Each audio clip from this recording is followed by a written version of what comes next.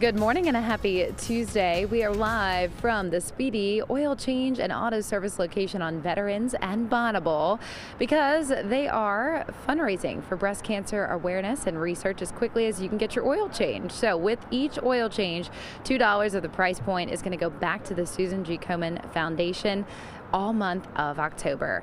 Eight participating locations throughout our greater New Orleans area. We'll have those listed online on WGNO.com, along with your forecast for yet another gorgeous and more seasonal day today across the board. Sun's peeking out now at this point, but it's been cloudy and 73 for the last hour or so here locally. Our beach camera at Beau Rivage, nice and quiet as well. We love to see the still Gulf of Mexico approaching the end of hurricane season but some rain chances are back in our forecast for tomorrow. So, a quiet day all day today. Temperatures will continue to climb out of the 70s into the 80s. We'll top out with a range of those low to mid 80s across the board. Your hour by hour breakdown showcasing calm wind speeds all the while and a combination on clouds with sunshine. So by this afternoon, we'll see highs ranging from 82 to 86 on the North Shore. You push a bit further south of the lake and temperatures will level out in the low 80s as well. Morning lows overnight starting to showcase that gradual warming trend as we approach daybreak. You're going to see rain chances adding on. So we'll start out in the 60s and 70s as opposed to this morning's 50s and 60s. Then the rain comes back relatively quickly as we approach 5 to 6 a.m.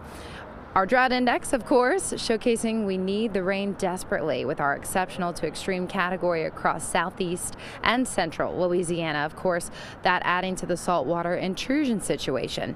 So, in the tropics, we've been watching this area of unorganized thunderstorms just north of Mexico's coastline, and we're going to continue to see that all pull a little bit further north, creating tropical moisture and therefore the rain chances in our area. Not to mention, we've got some Pacific systems adding on as well.